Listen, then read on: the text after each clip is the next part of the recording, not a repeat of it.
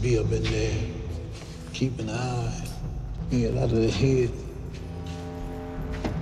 At the end of the 60s, Leodus Jones was a prisoner here in Holmesburg, a suburb of Philadelphia in the United States.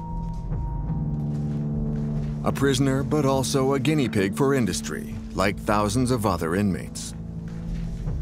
H block. This is where all the medical testing and the human experimentation was going on. How many times have you taken that corridor? Oh man, about uh, maybe 25, 30 times. You know, but there was different tests that they was running. And sometimes I was on like uh, two tests at a time, you know? Okay. This practice was confidential at the time because multinational chemical companies came here to test the risks of their products. To earn a few dollars, the prisoners participated in several tests, but none of them knew what they were being given. What they would do, they would put the tape and stick it and pull it, stick it and pull it, stick it and pull it. Then they would put a drop of the, uh, the substance, whatever it was that was in it, on that area. And what happened after? All over my body, my skin pigmentation got light in certain areas. How long did it last? About a year, somewhere around there. And they had you signing a paper stating that uh, it was informed consent, but it was just a paper to waive them from being liable if anything go wrong. One company did everything they could to keep this a secret. They even paid Leodus Jones for his silence. Dow Chemical. The leading manufacturer of plastics in the world and the third largest manufacturer of pesticides, Dow Chemical has an annual turnover of $48 billion and 50,000 employees around the globe. In the wake of this chemical giant, there's an industry of staggering profitability, an industry in a frantic race to innovate. Each year, their new toxic products reach the market. These multinationals all have one thing in common, a culture of secrecy. They are following us. Polluting lands, rivers, and groundwater. Behind the fumes of these factories, we have discovered tens of thousands of victims. In India, children are born with severe disabilities. In the US, those who have dedicated their lives to this industry Everybody wanted to go there because of, for the money, for the benefits, and it was secure. are now paying the price. Those guys are all dead, and I should have been. Why'd they lie? Faced with these tragedies, the chemical giants have adopted a specific course of action. Lack of transparency, cynicism, denial. In the meantime, they continue to reap the profits.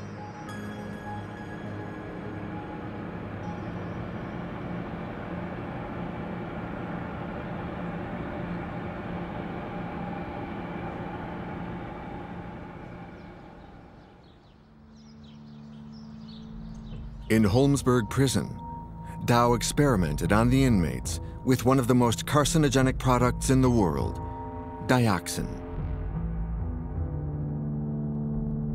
It's one of the molecules in Agent Orange, the powerful herbicide that Dow produced for the American Army during the Vietnam War.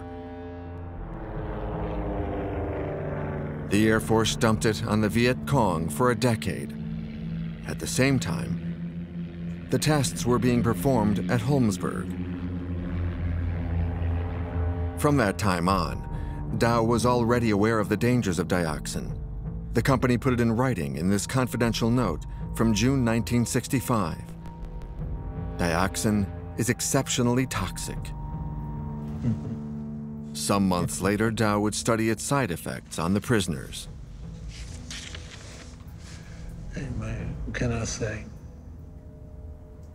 And there's no way in the world, if they would have informed us back then, that we would participate. No, no, no, I wouldn't have. They were trying to cover it up. They wouldn't bite it now. We found one of the doctors that performed the tests at Holmesburg in the 1960s.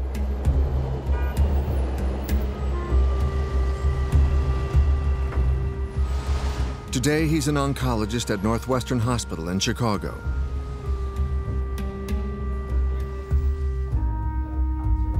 Sigmund Weitzman is preparing to retire. He is one of the few witnesses still alive. Every day, I had a row of 20 convicts. They were coming in all day. Okay. So uh, all I, day long, people were coming. Oh, in? absolutely! It was a, a, a machine. In 1967, Sigmund Weitzman was only 21 years old. He was an intern at Holmesburg. The senior physician overseeing the tests never told him the names of the products used on the prisoners.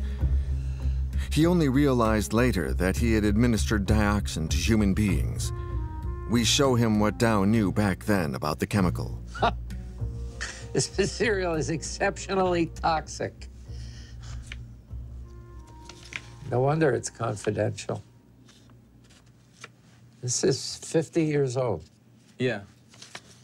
It's very upsetting. This is the first time you, you read these documents? Yes. What, what I'm... I'm, uh, I'm appalled. Uh, I'm just very, it's so casual. I also felt personally guilty that I was participating in something so horrible. You don't give people poison. It's just simple. It's, it, you know, as if these people aren't people. They're just experimental animals. Nowadays, it would be criminal. Dow was never prosecuted. When prisoners tried to take action against the company, the statute of limitations had expired. This multinational would not only poison inmates with dioxin, but also tens of thousands of people in Midland, Michigan, in the north of the U.S. Midland, the birthplace of Dow. Here at the Dow Chemical Company in Midland, Michigan, revolutionary chemical killers. This is where Agent Orange was manufactured. Its production created waste extremely high in dioxin.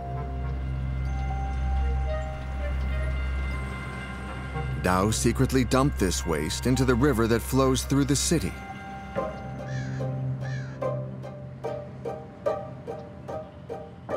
In 1981, one man would discover the truth.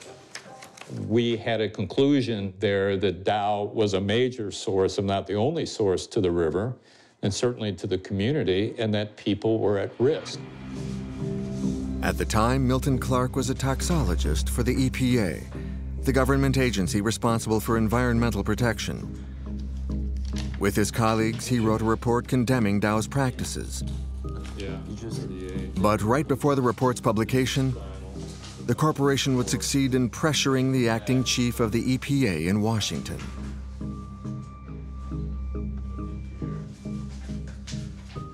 We went into shock. We had never heard of such a thing being done, ever.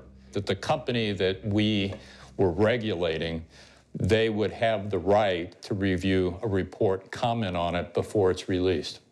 And what did they ask you about that? And it was critically important to say that people were at risk, but they did not want that. They just basically want to squash the report. Okay. And eventually, the, the final report, they prevailed. And so they truncated it down and removed critical sections, and all the conclusions were taken away. Pressured by his superiors, Milton Clark was forced to censor the report. The result?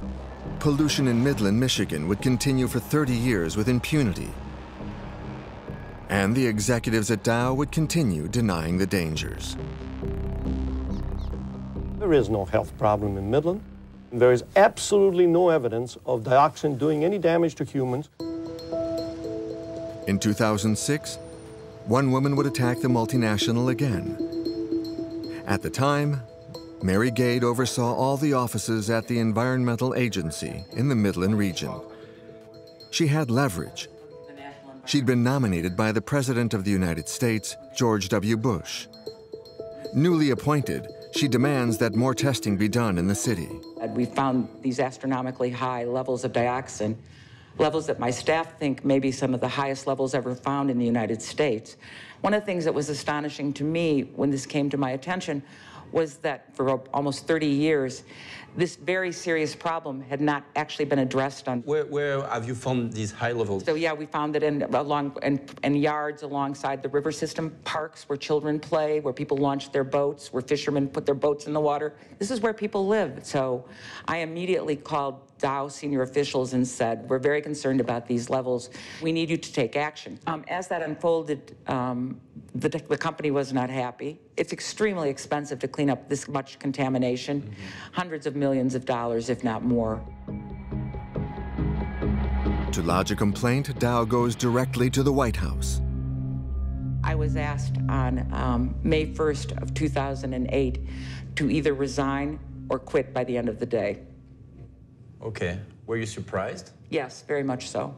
In my 30 some years of working in environmental protection and much of that spent in the government, I, I would have never expected that. Uh, Dow is acting in its own interests. So Dow is trying to make sure that it saved as much money as possible. As a result of these maneuvers, for decades, thousands of people have lived surrounded by dioxin without knowing the risks. We wanted to meet these victims but in Midland, it's hard to loosen tongues. Dow has supported the city for 120 years, and reminders are at every corner. At the bank, the stadium, the library, the public park, the high school. The shadow of the company is everywhere. Only one person agreed to break the code of silence. Alice Buckelter has spent most of her life here, near the river. This is where she raised her family.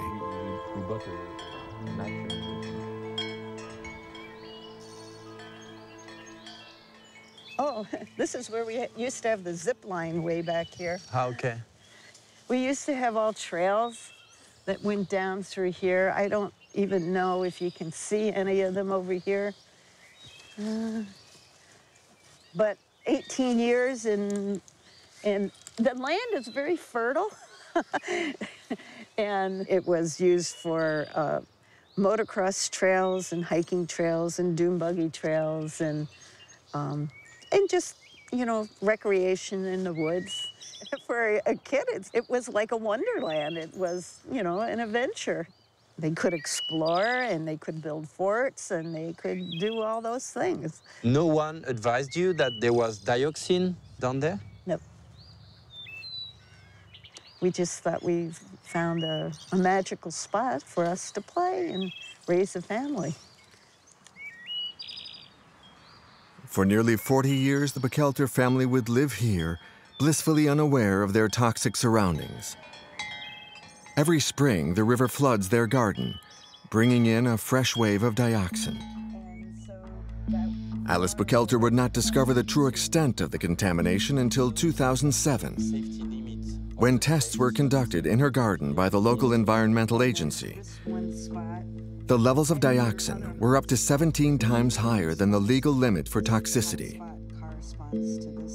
I have my oldest daughter has autoimmune diseases. You have five kids. Mm -hmm. How many of them do have autoimmune uh, disease? Uh, I, I, would say all of them. um, some to a lesser degree and some to a more severe degree. And my husband had a very malignant colon cancer. It was a real quick onset. Her late husband, Herbert Buckelter, was a doctor. A few days before he passed away, he expressed a last wish. He was brave enough to, when he was dying, to have his blood drawn when he didn't have very much blood left. Dioxin levels were taken the Thursday before he died on a Sunday. He was willing to do it to ascertain that there was a, a connection. The results of my husband's, this is his levels. These, these are the actual breakdown. Alex Buchalter's husband had 64.5 nanograms of dioxin per liter of blood, three times the U.S. average. We had been married 46 years when he died. And, um, and would I have treasured 10 more years? Yeah. And, uh, you know, that's been a major impact on my life. The American Environmental Agency has finally forced Dow to clean the river. But the process has only just begun. It could take decades and cost hundreds of millions of dollars.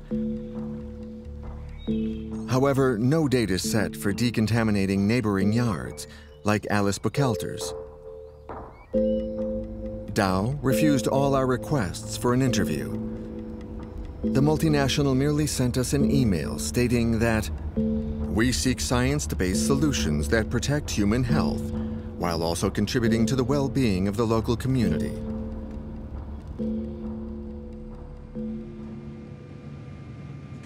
On the other side of the world, another contamination is wreaking havoc. As a result of one of the worst industrial catastrophes in history, thousands of children have been affected. But Dow has never dealt with it. It happened in India, in Bhopal.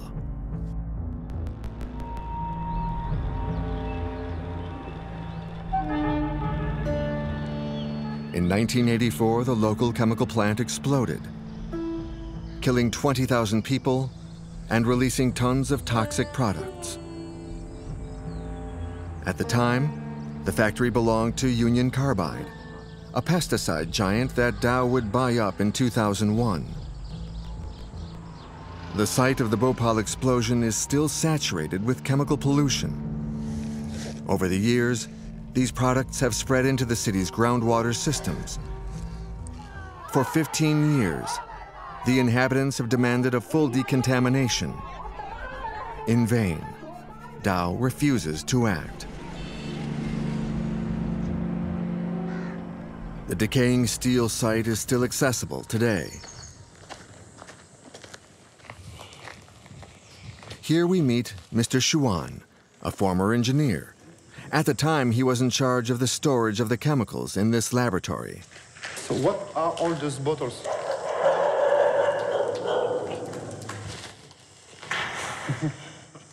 There's so many chemicals still remaining in this quality control lab. Very few bottles are uh, now at present. But after the disaster, this quality control lab was full of the chemicals, bottle drums, and after 32 years, still they are lying. Is that dangerous? Yeah, it is dangerous because there's no proper care of these premises. Among the products stored in the factory, there was lindane, an extremely toxic insecticide. Today it is forbidden all over the world. According to our guide, the soil surrounding the factory is full of it. This whole area is highly contaminated, and this is the local pit. There. They are dumping all toxic waste effluent on the ground. Right now, you can feel the smell of the benzene hexachloride uh, on this spot. And it is dangerous to stay here for a long period. Benzene hexachloride is the scientific name for lindane. We go down to the area of the spill to take some samples. The smell is unbearable. We'll have the soil analyzed. Just before leaving, Mr. Chouhan shows us where the pesticides were made. Here, beads of mercury lie exposed in the open air. According to the World Health Organization, this is one of the top 10 most dangerous chemical products in the world. We take some more samples. Ça se voit à l'œil nu en fait. Il y en a partout. The results of our two tests are astonishing. Inside the factory, the level of mercury is 5 million times higher than the environmental standard. At this level of concentration, the risks of developing liver, skin, or lung cancers are considerable. The levels of lindane are just as alarming, exceeding 100,000 times the standard level. This can provoke severe cases of cerebral degeneration. Yet only 20 meters away, we see children playing cricket on the contaminated ground. Hi. Hi. What is his name? My name is Raja. My name is Raja. Do you often come to play cricket here? Yeah. Yeah, but do, do you know that's a chemical plant that is dangerous? आपको पता है कि chemical की factory है ये dangerous है खतरनाक है खतरनाक है These children come here every day to play on the land near the factory. They don't seem to realize the risk that they are exposed to. Why are you playing inside the factory and not outside?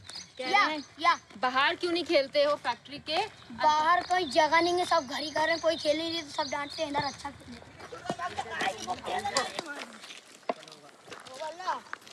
नहीं यहाँ पे कुछ नहीं है बोलते हैं ना कि हमने पिच बना ली इसको डाल डाल के तीन चार साल से यहीं पे आ रहा चीज बेर में सब खाते रहते हैं यहीं पे उगती है These kids are not the only ones in danger in Bhopal. The chemical contamination stretches far beyond the walls of the factory.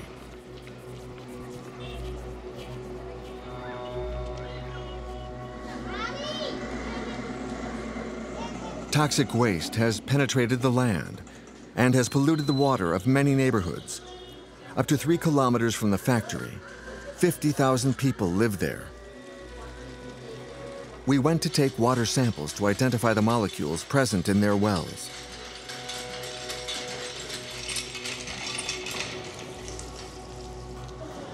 Like in Shakya's family home.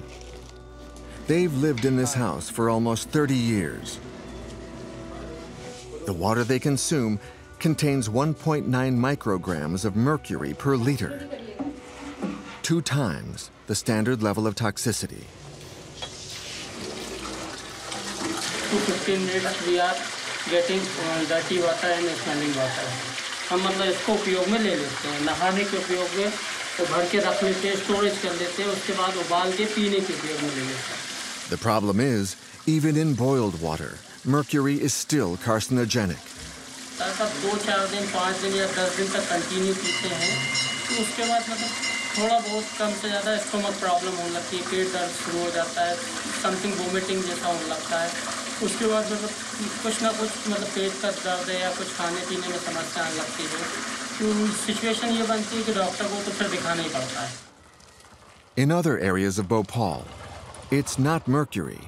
but lindane that wreaks havoc on human lives. This is a problem in Preetnagar, a neighborhood situated one kilometer away from the factory. The municipality has had drinkable water since 2011, but for many years, the inhabitants have been drinking severely polluted water.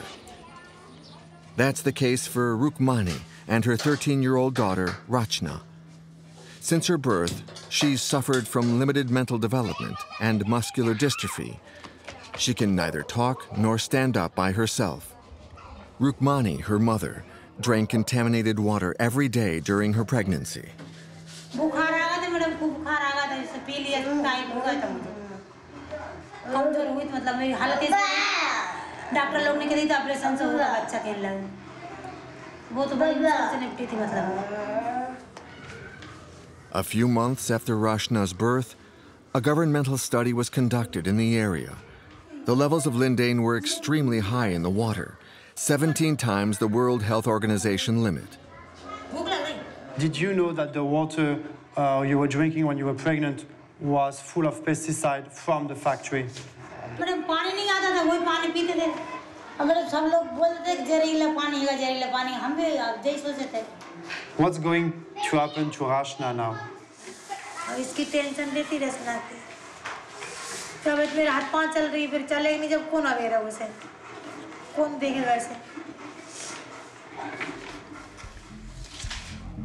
Due to her disabilities, Rashna has never been able to go to school. Every day she comes to the Chingari Rehabilitation Center. Without these daily exercises, she would be completely paralyzed today.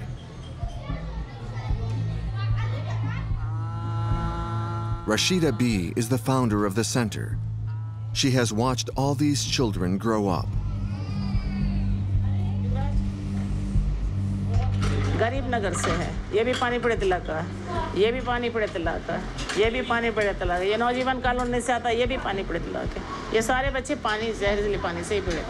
लेकिन इन बस्तियों में जाने के बाद लगता है कि हर एक दो घर के बाद हमें विकलांग बच्चे समझ मिलते हैं। 850 children are now registered at Rashida Bee's center.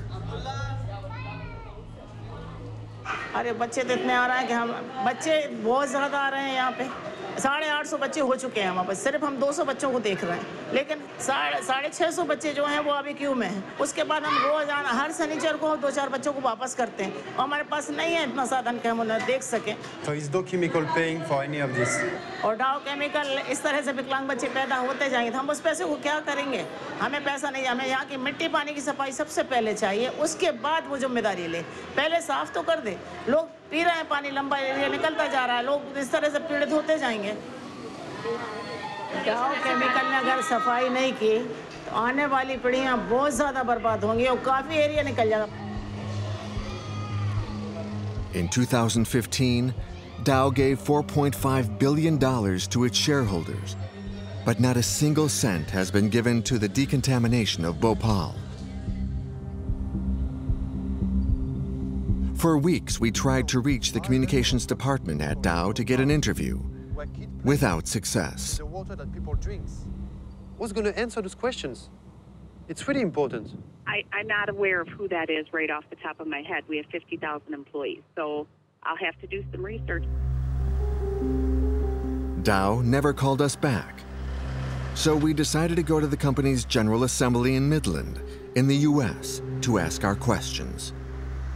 Cameras are not allowed inside, so we stayed in the parking lot. Sorry. You're a, a Dow shareholder? Oui. Yeah. Have you been talking about Bhopal this year? Were there any resolution? Je ne peux pas parler, monsieur. Il, il Sir. m'a dit de ne pas parler. Ah, vous n'avez pas le droit de parler? Oui. Sir, What? I'm asking you to please leave the property. Uh, okay. If you refuse to leave, you will be arrested for trespass. Do you understand? Here. Do you understand? Yeah, You will I be understand. arrested. Yeah, I understand. We quickly realized that we were not welcome. Yes, sir. We're gonna, we're gonna call this tree line right here. Okay, so I can stay there? Not gonna stop traffic that's trying to exit. Okay. So we carefully followed their rules for 45 long minutes. Until the communications department at Dow decided to finally set foot outside. Hello. Sorry to disturb you. I'm a French journalist. Yeah, we're the corporate media relations team. Ah, can we talk? No, sorry. Why? I don't have anything to say. You don't want to talk about Bhopal? You don't want to talk about the kids that are sick there? No, I'm sorry. It wouldn't, it wouldn't be appropriate for me to say anything. Why?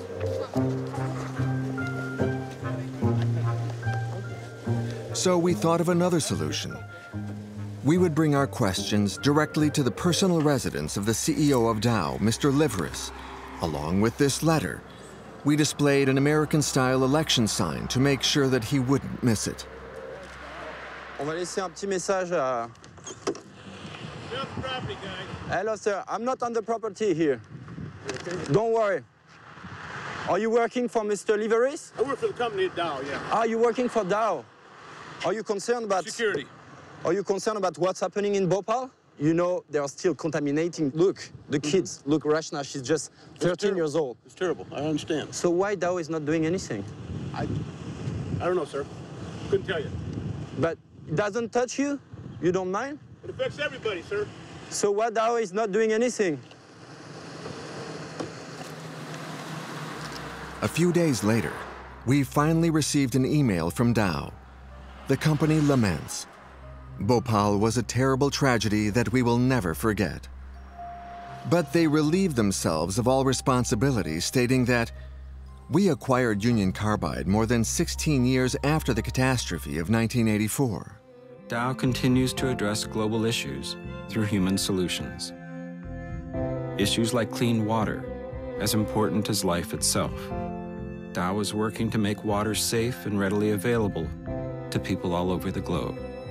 The human element. Nothing is more fundamental, nothing more elemental.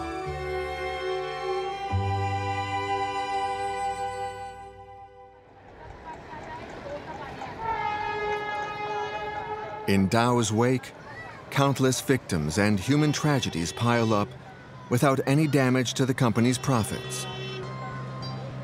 In December 2015, Dow announced the biggest financial operation in its history. A merger of $130 billion with another American chemical giant, DuPont.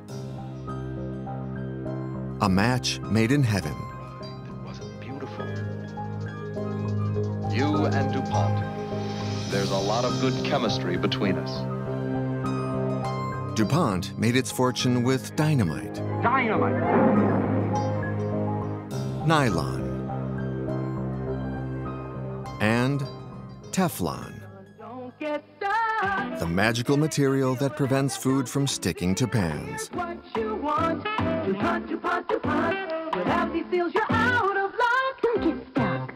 However, behind the success of Teflon, DuPont hides a dark secret. I just can't believe that DuPont, the money means more than people. There's people dying because of what they've done. DuPont knew years ago what they were doing.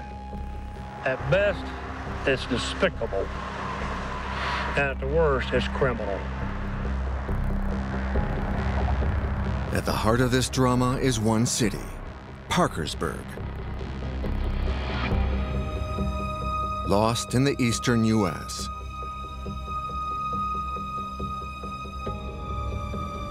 The city was built around the DuPont factory.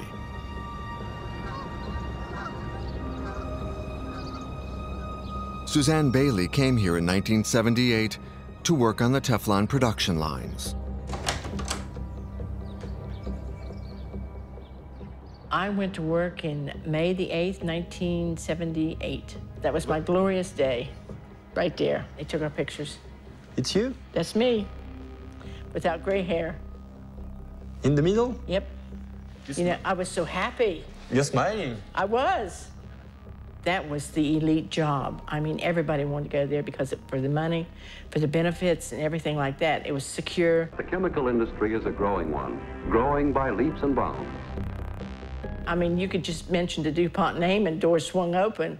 It was like Princess coming through the door, you know? Yes, in such an environment, you can look to a bright future with confidence and optimism.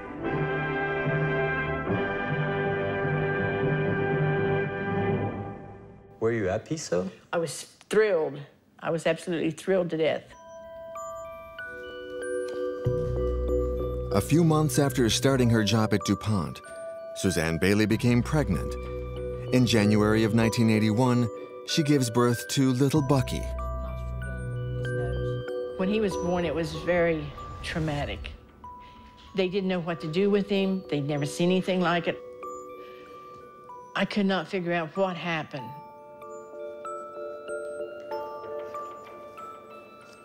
He had half a nostril, half a nose, the eye is a keyhole pupil. I didn't know what to do. I was afraid he was going to die in my arms. I had no idea what was wrong.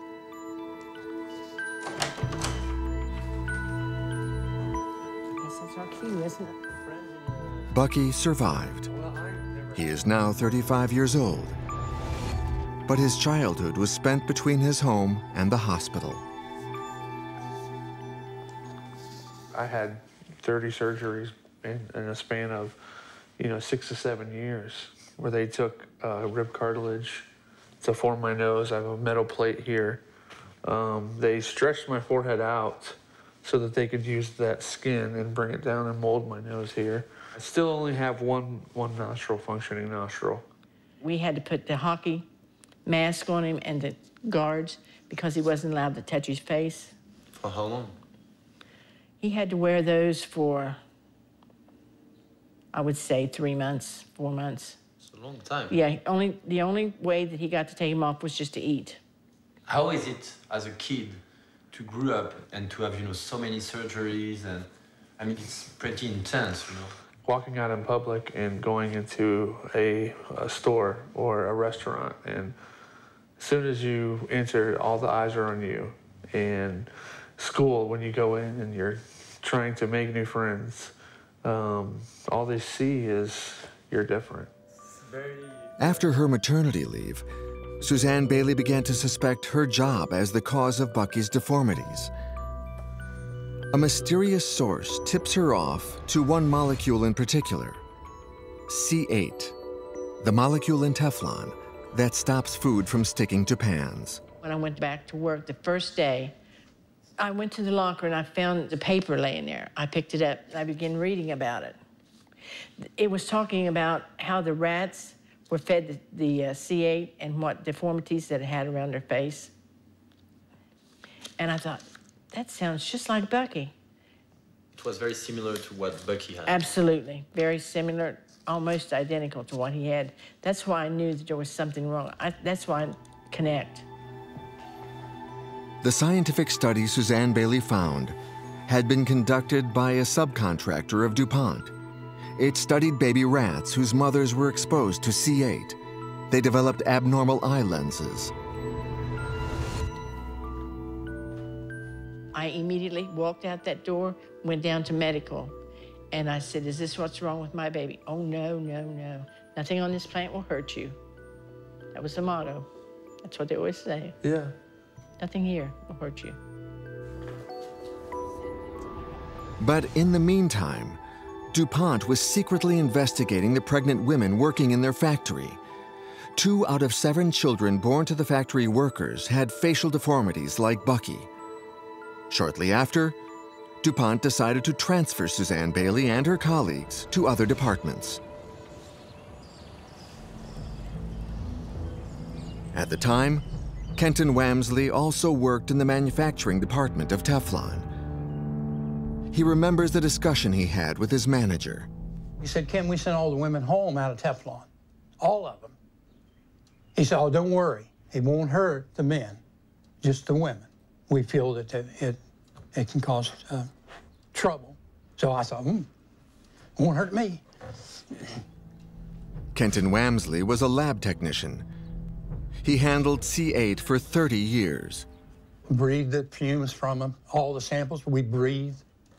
But we just, you know, at the time we, we thought DuPont would take care of us. And um, so I just did my jobs for years and years, you know. And we didn't realize that our health was an issue then. Surgeon diagnosed me as having uh, cancer. They had to take all my rectum, part of my colon. They're giving you that? Yeah, for every five years. It says DuPont on Now Kenton Wamsley has to live with an ostomy bag attached to his stomach. He changes it day and night.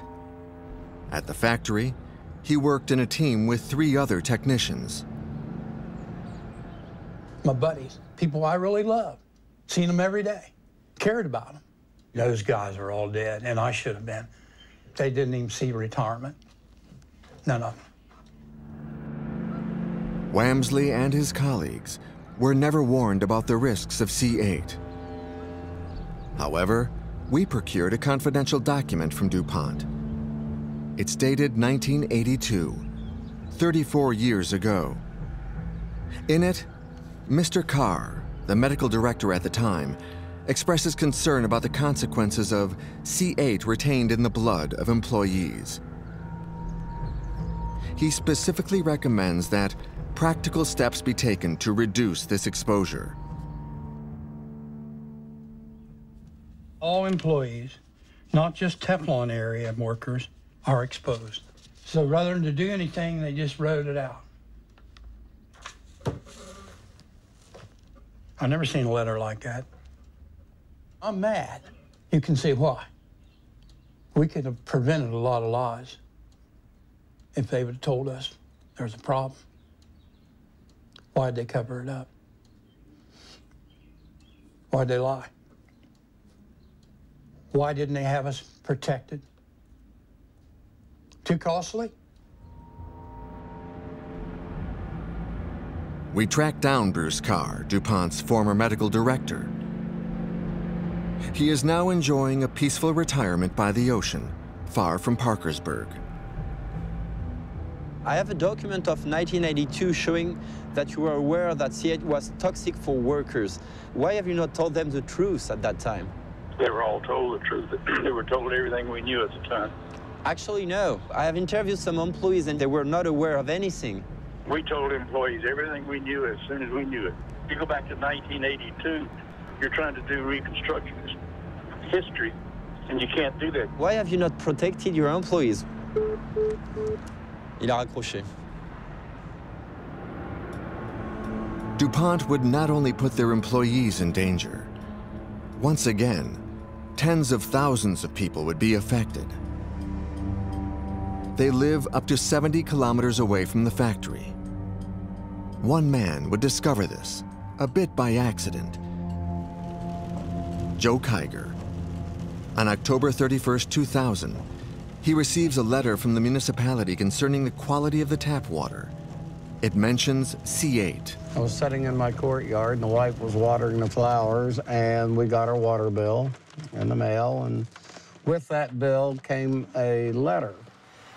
It's like you get form letters all the time. So you look and say, oh, okay, bang, and you put it over and you don't think about it. Next thing you know, you throw it away. And that's basically what this was. It just caught my attention and I started reading through it and then the flags started popping up. First of all, what was C8 here, mm-hmm. which is used by DuPont Works? Well, what's DuPont have to do with our water? Joe Kiger sought clarification on the matter. I called DuPont to try to find out. So they put me in touch with a guy, a gentleman named Mr. Kennedy, and I said, you know, I'm, I, would like to know more about this C8 issue. He just told me it's nothing to worry about. About it was just a, a byproduct of uh, Teflon, and it wasn't anything to worry about. And he was flat out lying to me. I could tell that. To get to the bottom of it, he takes DuPont to court. After a long legal battle, the judge forces the company to declassify their internal studies on C8. Joe Kiger discovers the truth behind the factory at Parkersburg. For decades, they've been dumping C8 waste into the river. To make things worse, DuPont has known since 1984 that the molecule spread into the region's tap water. The company found astronomical levels in public taps, up to 50 times the limit of toxicity, according to the U.S. Environmental Protection Agency. That was 1984, and we didn't come out till 2000. So, with it. 16 years. Yeah, before we even hit them up about it. And they chose, as you see right here, they chose not to do anything about it. And they knew what was coming with the liabilities if they got caught. They were trying to slide under the radar people trusted DuPont for so long. They have done nothing but lie for years to people about what this stuff's all about. There's sick people out here because of what they've done. There's people dying because of what they've done. During all these years, more than 70,000 people have been drinking contaminated water. In 2011, both scientific research and the U.S. justice system established that C8 could cause six diseases thyroid disorder, high cholesterol, ulcerative colitis, high blood pressure, kidney cancer, or testicular cancer. Today, 3,500 people in the Parkersburg region are ill. They've all filed complaints against DuPont. This is the case for Earl and Gwen Botkin. Um, I've had ulcerative colitis for about 17 years, and it's about killed me a couple times. I still have thyroid problem, and I have high cholesterol. And those are all associated with C8. Today, Earl Botkin doesn't have a colon anymore. He too is living with an ostomy bag. So all of a sudden you don't function normally, but you have your bowel movement on your side. And that's what I'll live with until I die. And there's not any, not any hope of that's going to change. It controls where I go, what I do, and what I eat. It just controls a lot of things in my life. But uh, anyway, I lived through that.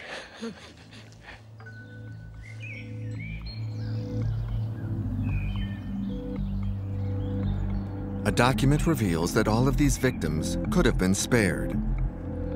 On May 22, 1984, a meeting took place at the DuPont headquarters. The directors are worried about the consequences for the inhabitants. They plan to eliminate all C8 emissions. I wanted to show you these sentences here. But finally, no measures are taken. Their argument it's not economically attractive. That was in what year? 84. That's before we were married. That's a long time ago. Uh-huh. Yeah. Long, long time ago. That's crazy. That's what makes it so bad, you know, that they had evidence all along and just disregarded it and kept doing what they were doing. It was company greed that caused this whole situation. They knew what they were doing to us and they continued to do it before money. That's the only reason they continued to do it. DuPont refuses to collectively compensate the 3,500 sick people. They prefer to study the cases one by one.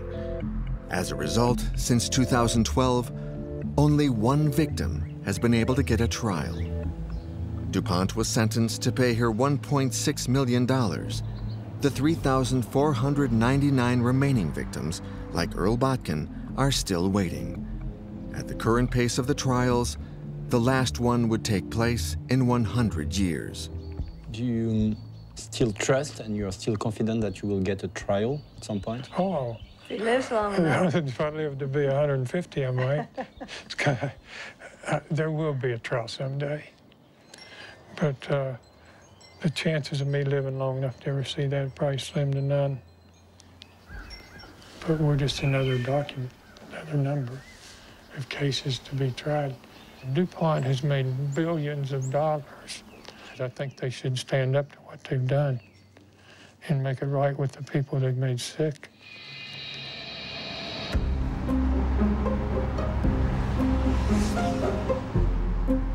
DuPont refused all of our requests for an interview. So we drove to their headquarters in Delaware on the East Coast to convince them to answer our questions. At the other end of the line, we reached the head of media relations, Daniel Turner. We, we are doing a, a, documentary piece. The best way is, you know, we meet and, and, and to, to make a proper interview, you know, at some point. But first, let's meet. You know, I'm just here. I think you can see me here. I'm making signs. Will respectfully decline an on-camera interview. Um, I will provide you with a statement. You know, th there is like an incredible amount of documents showing that you have known at DuPont for the past 30 years that C8 was toxic and you know that you were poisoning your employees at the Washington Works plant and the Parkersburg citizen. Uh, why are you not recognizing the fact that you have deliberately poisoned thousands of persons? Okay, so is, uh, are, are, those the questions you're asking? Yeah, this is my okay. questions. Okay, uh, I'll be uh, happy to uh, uh, provide with our statement. Today, we are in 2016. There are still 3,500 persons with severe disease that are waiting to just have the right to get a trial. I mean, for how long are you going to deny your responsibility? Are you waiting that they all die? So uh, we will provide you with a statement for your piece. Nothing else? no? Uh, how, uh, like I said, we will provide you with a statement. Thanks so much. Have a good day. Bye. Bye.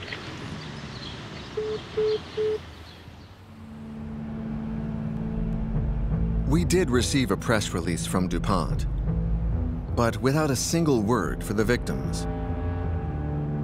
They claim to have studied C8 carefully for decades and affirm to have always acted responsibly. In 2015, DuPont finally stopped using C8. The company was also ordered by the courts to clean up the region.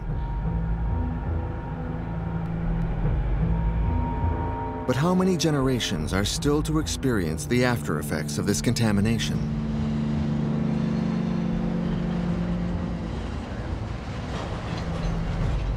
In the chemical world, history inexorably tends to repeat itself. It takes decades to reveal the truth, and just as many years for the multinationals to be prosecuted. In their laboratories, new toxic molecules are constantly being developed. But in 10, 20, 30, or 40 years, who knows how many new victims will be poisoned?